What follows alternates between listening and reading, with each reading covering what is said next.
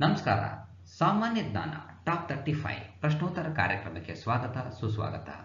ಈ ಒಂದು ಎಪಿಸೋಡ್ ಅನ್ನ ಸಂಪೂರ್ಣವಾಗಿ ನೋಡಿ, ಇಷ್ಟವಾದಲ್ಲಿ ಲೈಕ್ ಮಾಡಿ ಶೇರ್ ಮಾಡಿ ಕಮೆಂಟ್ ಮಾಡಿ. ಇಲ್ಲಿ ಕೊಟ್ಟಿರುವಂತಹ ಪ್ರತಿಯೊಂದು ಪ್ರಶ್ನೆಗೂ ಕೂಡ ಅದರದ್ದೇ ಆಗಿರುವಂತಹ ಹಲವಾರು ವಿವರಣಾತ್ಮಕ ಅಂಶಗಳನ್ನು ನೀಡಲಾಗಿದೆ.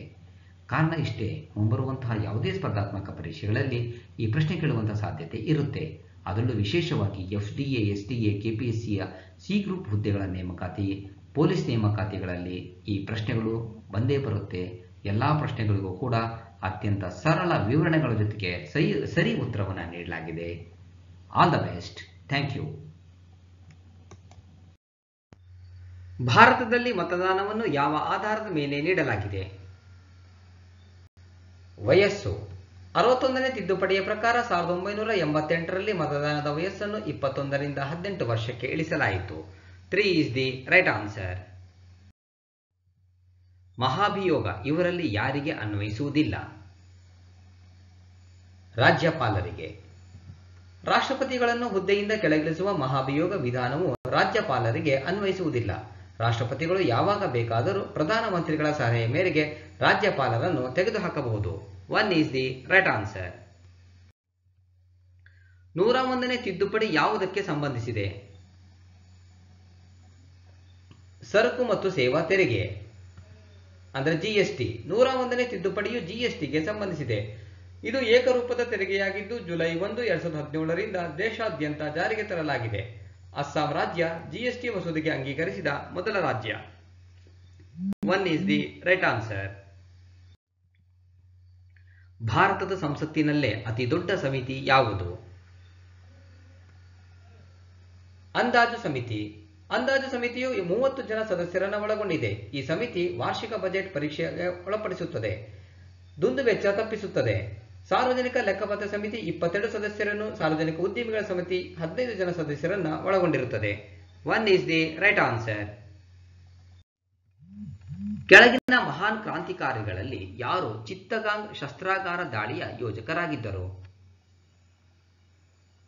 ಸೂರ್ಯ ಸೇನ್. ಏಪ್ರಿಲ್ ಹದಿನೆಂಟು ಸಾವಿರದ ಒಂಬೈನೂರ ಮೂವತ್ತರಲ್ಲಿ ಬಂಗಾಳದ ಚಿತ್ತಗಾಂಗ್ ಎಂಬಲ್ಲಿ ಪೊಲೀಸ್ ಮತ್ತು ಕ್ರಾಂತಿಕಾರಿ ಪಡೆಗಳ ವಿರುದ್ಧ ಶಸ್ತ್ರಾಸ್ತ್ರ ದಾಳಿ ನಡೆದಿತ್ತು.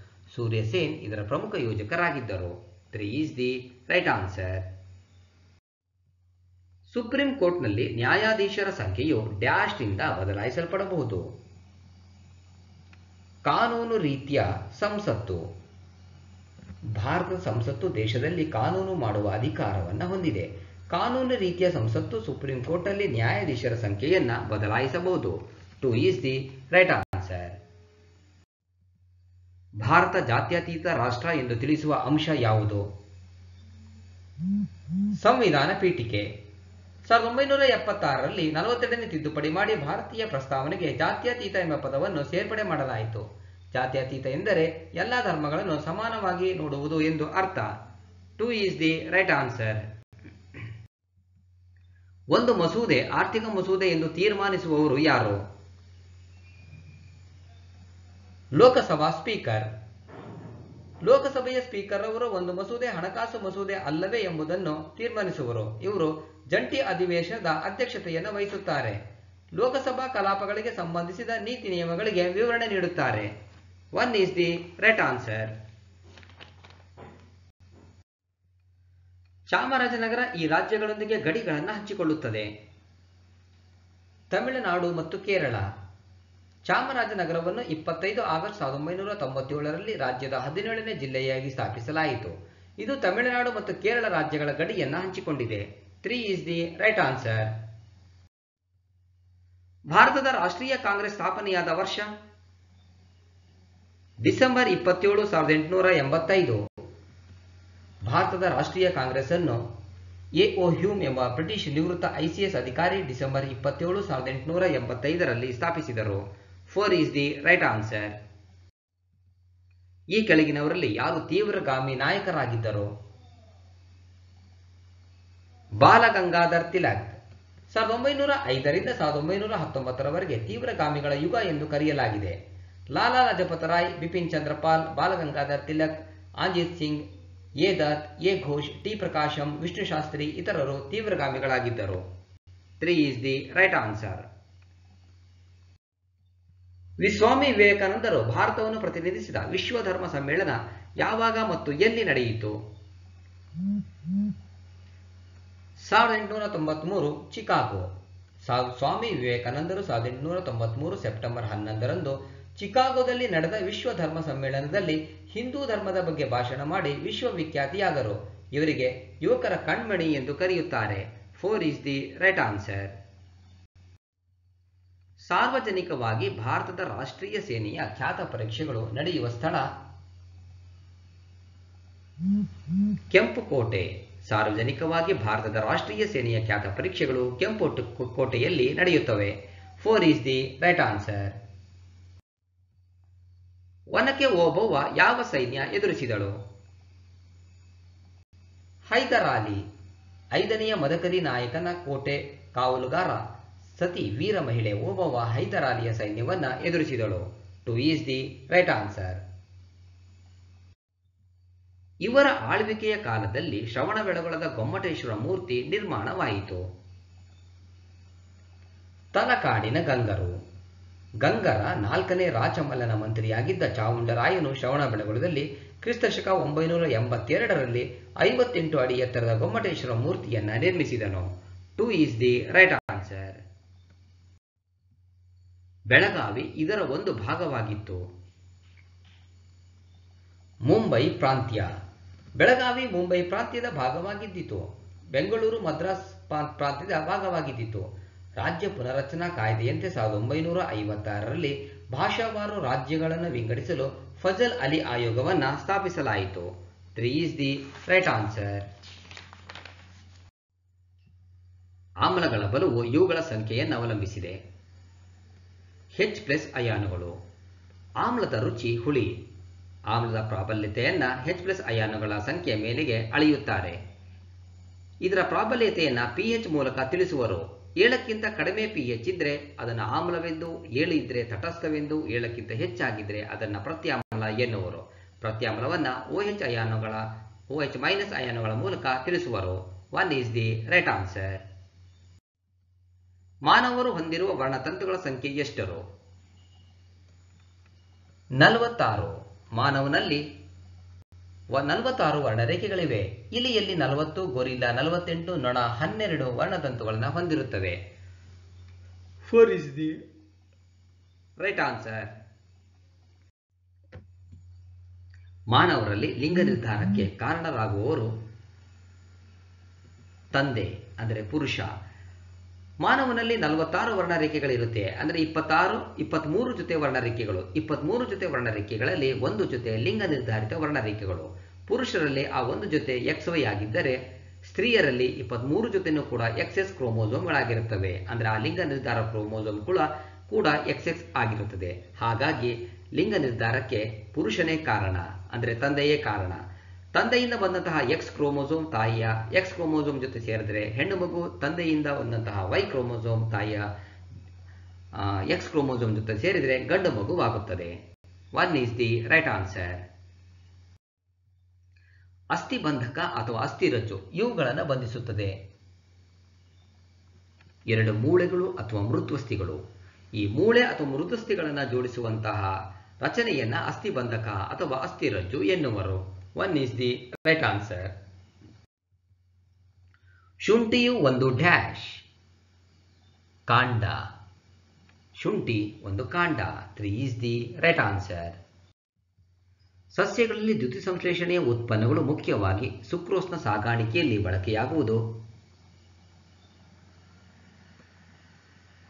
ಫ್ಲೋಯಂ ದ್ಯುತಿ ಸಂಶ್ಲೇಷಣೆಯ ಉತ್ಪನ್ನಗಳು ಅಂದರೆ ಆಹಾರ ತಯಾರಾಗಿರುವಂಥ ಎಲೆಯಲ್ಲಿ ತಯಾರಾಗಿರುವಂಥ ಆಹಾರ, ದೇಹ ಸಸ್ಯ ದೇಹದ ಎಲ್ಲಾ ಭಾಗಗಳಿಗೆ ಹೋಗುವುದು ಫ್ಲೋಯಂನ ಮುಖಾಂತರ. Three is the right answer ಜೀವಕೋಶದ ಎಲ್ಲಾ ಕಾರ್ಯಗಳನ್ನು ನಿರ್ವಹಿಸುವ ಭಾಗ. ಕೋಶ ಕೇಂದ್ರ. ಮೈಟೋಕಾಂಡ್ರಿಯಾ ಒಂದು ಶಕ್ತಿ ಉತ್ಪಾದನಾ ಕೇಂದ್ರ. ಕೋಶ ಕೇಂದ್ರ ಜೀವಕೋಶದ ಎಲ್ಲಾ ಕಾರ್ಯವನ್ನು ನಿರ್ವಹಿಸುತ್ತದೆ. ರೈಬೋಸೋಮ್ ಪ್ರೋಟೀನ್ ಅನ್ನು ಉತ್ಪಾದನೆ ಮಾಡುತ್ತದೆ. ಲೈಸೋಸೋಮ್ ಅನ್ನು ಆತ್ಮಹತ್ಯಾ ಸಂಚಿ ಎನ್ನುವರು. So four is the right answer ವಿಮೆ ಕವರೇಜ್ಗಾಗಿ ಚಾರ್ಜ್ ಮಾಡುವ ಹಣವನ್ನು ನಾವು ಏನೆಂದು ಕರೆಯುತ್ತೇವೆ? ಪ್ರೀಮಿಯಂ.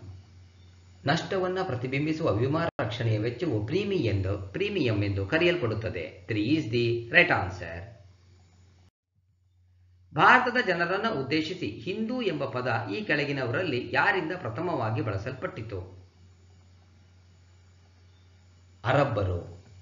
ಅರಬ್ಬರಿಂದ ಪ್ರಥಮವಾಗಿ ಹಿಂದೂ ಎಂಬ ಪದ ಬಳಸಲ್ಪಟ್ಟಿತ್ತು. ಅರಬ್ಬರು ಭಾರತಕ್ಕೆ ಇಸ್ಲಾಂ ಅನ್ನು ತಂದವರು. ಇವರು ವರ್ತಕರಷ್ಟೇ ಅಲ್ಲದೆ ಇಸ್ಲಾಂ ಪ್ರಚಾರಕರಾಗಿದ್ದರು. Four is the right answer magnetic ಡಿಸ್ಕ್ಗಳಲ್ಲಿ ಪ್ಲಾಟರ್ಗಳ ಮೇಲೆ ದತ್ತಾಂಶವು ಡ್ಯಾಶ್ ಎಂದು ಕರೆಯಲ್ಪಡುವ ಏಕಕೇಂದ್ರಕ ಸೆಟ್ಟುಗಳ ಅಥವಾ ರಿಂಗುಗಳ ಮೇಲೆ ಸಂಘಟಿಸಲ್ಪಡುತ್ತದೆ. ಹೆಡ್ ಹೆಡ್ ಎಂದು ಕರೆಯಲ್ಪಡುವ ಏಕಕೇಂದ್ರಕ ಸೆಟ್ ಅಥವಾ ರಿಂಗುಗಳ ಮೇಲೆ ದತ್ತಾಂಶವು ಸಂಘಟಿಸಲ್ಪಡುತ್ತದೆ. Three is the right answer Chabahar ಬಂದರು ಎಲ್ಲಿದೆ? ಇರಾನ್. ಚಬಹಾರ್ ಬಂದರನ್ನು ಇರಾನ್ ಮತ್ತು ಭಾರತದ ಮಧ್ಯೆ ವ್ಯಾವಹಾರಿಕ ಮಾರ್ಗವನ್ನು ಸಂಪರ್ಕಿಸಲು ಸ್ಥಾಪಿಸಲಾಗುತ್ತಿದೆ.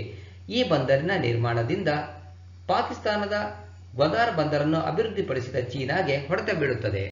Two is the right answer ಕೆಳಗಿನವುಗಳಲ್ಲಿ ಯಾವ ದಿನಾಂಕವನ್ನು ರಾಷ್ಟ್ರೀಯ ಗ್ರಾಹಕ ಹಕ್ಕುಗಳ ದಿನವಾಗಿ ಆಚರಿಸಲ್ಪಡುತ್ತದೆ? ಡಿಸೆಂಬರ್ ಇಪ್ಪತ್ನಾಲ್ಕು. ರಾಷ್ಟ್ರೀಯ ಗ್ರಾಹಕ ಬಳಕೆದಾರರ ದಿನವನ್ನು ಡಿಸೆಂಬರ್ ಇಪ್ಪತ್ನಾಲ್ಕರಂದು ಆಚರಿಸಲಾಗುತ್ತದೆ. ಈ ದಿನದಂದು ಬಳಕೆದಾರರ ಹಿತ ಕಾಯ್ದೆಯನ್ನು ಸಾವಿರದ ಒಂಬೈನೂರ ಎಂಬತ್ತಾರರಲ್ಲಿ ರಾಷ್ಟ್ರಪತಿಯವರು ಒಪ್ಪಿಗೆಯನ್ನು ಸ್ವೀಕರಿಸಿದರು. ವಿಶ್ವ ಗ್ರಾಹಕ ಹಕ್ಕುಗಳ ದಿನವನ್ನಾಗಿ ಸಾವಿರದ ಒಂಬೈನೂರ ಎಂಬತ್ಮೂರರಲ್ಲಿ ಮೊದಲ ಬಾರಿಗೆ ಆಚರಿಸಲಾಯಿತು. One is the right answer ಕೆಳಗಿನವರಲ್ಲಿ ಯಾರು ರಾಜ್ಯಸಭೆಯ ಸದಸ್ಯರೋರ್ವನ ಅನರ್ಹತೆಯ ವಿಷಯವನ್ನು ನಿರ್ಧರಿಸುತ್ತಾರೆ? ಚುನಾವಣಾ ಆಯೋಗದ ಸಲಹೆಯ ಮೇರೆಗೆ ರಾಷ್ಟ್ರಪತಿಗಳು. ಚುನಾವಣಾ ಆಯೋಗದ ಸಲಹೆಯ ಮೇರೆಗೆ ರಾಷ್ಟ್ರಪತಿಗಳು ರಾಜ್ಯಸಭೆಯ ಸದಸ್ಯನ ಅನರ್ಹತೆಯನ್ನು ನಿರ್ಧರಿಸುತ್ತಾರೆ. Four is the right answer ಕೆಳಗಿನವುಗಳಲ್ಲಿ ಯಾವುದಕ್ಕೆ ಉಚ್ಚ ನ್ಯಾಯಾಲಯದ ನ್ಯಾಯಾಧೀಶರ ವೇತನವನ್ನು ಚಾರ್ಜ್ ಮಾಡಲಾಗುತ್ತದೆ? ರಾಜ್ಯದ ಕ್ರೋಢೀಕೃತ ನಿಧಿ. ಪ್ರತಿಯೊಂದು ಉಚ್ಚ ನ್ಯಾಯಾಲಯದ ನ್ಯಾಯಾಧೀಶರು ಸಂಸತ್ತು ಕಾನೂನಿನ ಮೂಲಕ ನಿರ್ಧರಿಸಬಹುದಾದ ವೇತನವನ್ನು ಪಡೆಯುತ್ತಾರೆಂದು ವಿಧಿ ಇನ್ನೂರ ಇಪ್ಪತ್ತೊಂದು ಉಪವಿಧಿ ಒಂದು ವಿವರಿಸುತ್ತದೆ. Two is the right answer ಸ್ವತಂತ್ರ ಭಾರತಕ್ಕೆ ತನ್ನದೇ ಆದ ಸಂವಿಧಾನವಿರಬೇಕೆಂದು ಮೊದಲು ಪ್ರತಿಪಾದಿಸಿದವರು ಯಾರು? M N Roy. M N Roy ಎಂಬ ಸಮಾಜವಾದಿಯು ಸಾವಿರದ ಒಂಬೈನೂರ ಮೂವತ್ನಾಲ್ಕರಲ್ಲಿ ಭಾರತವು ಸ್ವಾತಂತ್ರ್ಯ ಪಡೆದ ನಂತರ ಆಡಳಿತ ನಡೆಸಲು ಸಂವಿಧಾನವನ್ನು ರಚಿಸಲು ಮೊಟ್ಟ ಮೊದಲ ಬಾರಿಗೆ ಬ್ರಿಟಿಷರ ಮೇಲೆ ಒತ್ತಾಯ ಹಾಕಿದರು. Four is the right answer ಕ್ರಾಂತಿಕಾರಿ ಸಂಘಟನೆಯಲ್ಲಿ ಅಭಿನವ್ ಭಾರತ್ ಸಮಾಜ ಸಾವಿರದ ಒಂಬೈನೂರ ನಾಲ್ಕರಲ್ಲಿ ಡ್ಯಾಶ್ನಿಂದ ಸ್ಥಾಪಿಸಲ್ಪಟ್ಟಿತು ವಿನಾಯಕ್ ದಾಮೋದರ್ ಸಾವರ್ಕರ್. ವಿಡಿ ಸಾವರ್ಕರ್, ಅಭಿನವ್ ಭಾರತ್ ಸಮಾಜ ಅಥವಾ ಯಂಗ್ ಇಂಡಿಯಾ ಸೊಸೈಟಿಯನ್ನು ವಿನಾಯಕ ದಾಮೋದರ್ ಸಾವರ್ಕರ್ ಮತ್ತು ಅವರ ಸಹೋದರ ಗಣೇಶ್ ದಾಮೋದರ್ ಸಾವಿರದ ಒಂಬೈನೂರ ನಾಲ್ಕರಲ್ಲಿ ಮಹಾರಾಷ್ಟ್ರದ ನಾಸಿಕ್ ಎಂಬಲ್ಲಿ ಸ್ಥಾಪಿಸಿದರು. Two is the right answer ಮಾನವೀಯ ಪರಿಹಾರ ಕಾರ್ಯ ಮತ್ತು ಸಾಮಾಜಿಕ ಕೆಲಸಗಳಿಗಾಗಿ ಸಾವಿರದ ಎಂಟುನೂರ ತೊಂಬತ್ತಾರರಲ್ಲಿ ಯಾರು ರಾಮಕೃಷ್ಣ ಮಿಷನ್ ಅನ್ನು ಸ್ಥಾಪಿಸಿದರು? ಸ್ವಾಮಿ ವಿವೇಕಾನಂದ. ಸ್ವಾಮಿ ವಿವೇಕಾನಂದರು ತಮ್ಮ ಗುರುಗಳಾದ ರಾಮಕೃಷ್ಣರ ಸಂದೇಶವನ್ನು ಪ್ರಚಾರ ಮಾಡಲು ಗುರುವಿನ ನೆನಪಿಗಾಗಿ ಸಾವಿರದ ಎಂಟುನೂರ ತೊಂಬತ್ತೇಳರಲ್ಲಿ ಕಲ್ಕತ್ತಾ ಬಳಿಯ ಬೇಲೂರಿನಲ್ಲಿ ರಾಮಕೃಷ್ಣ ಮಠವನ್ನು ಸ್ಥಾಪಿಸಿದರು. Three is the right answer ಕಾನೂನುಗಳನ್ನು ರೂಪಿಸುವ ಅಂಗ ಯಾವುದು? ಶಾಸಕಾಂಗ. ದೇಶದಲ್ಲಿ ಕಾನೂನುಗಳನ್ನು ರೂಪಿಸುವುದು ಶಾಸಕಾಂಗದ ಕಾರ್ಯವಾಗಿದೆ. ನ್ಯಾಯಾಂಗವು ಮೂಲಭೂತ ಹಕ್ಕುಗಳನ್ನು ರಕ್ಷಿಸುತ್ತದೆ. One is the right answer Srirangapatnam ಡ್ಯಾಶ್ರ ರಾಜಧಾನಿಯಾಗಿತ್ತು ಟಿಪ್ಪು ಸುಲ್ತಾನ್ ಹೈದರಾಲಿಯ ಮಗ ಟಿಪ್ಪು ಸುಲ್ತಾನನ್ನು ಸಾವಿರದ ಏಳ್ನೂರ ಐವತ್ಮೂರರಲ್ಲಿ ನವೆಂಬರ್ ಇಪ್ಪತ್ತರಂದು ದೇವನಹಳ್ಳಿಯಲ್ಲಿ ಜನಿಸಿದನು. ತಾಯಿ ಫಕ್ರುನ್ನಿಸಾ ಬೇಗಂ. ಟಿಪ್ಪು ನವಾಬ್ ಟಿಪ್ಪು ಸುಲ್ತಾನ್ ಬಹದ್ದೂರ್ ಬಾದಶಾಹ ಎಂಬ ಬಿರುದು ಪಡೆದಿದ್ದನು. ನಾಲ್ಕನೇ ಆಂಗ್ಲೋ ಮೈಸೂರು ಯುದ್ಧದಲ್ಲಿ ಸಾವಿರದ ಏಳ್ನೂರ ತೊಂಬತ್ತೊಂಬತ್ತರಲ್ಲಿ ಮರಣ ಹೊಂದಿದನು. ಶ್ರೀರಂಗಪಟ್ಟಣಂ ಟಿಪ್ಪು ಸುಲ್ತಾನನ ರಾಜಧಾನಿಯಾಗಿತ್ತು. Two is the right answer. ಇಲ್ಲಿಗೆ ಮೂವತ್ತೈದು ಪ್ರಶ್ನೆಗಳ ಈ ಒಂದು ಎಪಿಸೋಡ್ ಮುಕ್ತಾಯವಾಗ್ತಾ ಇದೆ. ಸಂಪೂರ್ಣವಾಗಿ ಈ ವಿಡಿಯೋ ನೋಡಿದ್ದಕ್ಕೆ ಮತ್ತೊಮ್ಮೆ ನಿಮಗೆ ಹೃತ್ಪೂರ್ವಕವಾಗಿರುವಂತಹ ಧನ್ಯವಾದಗಳು. All the best thank you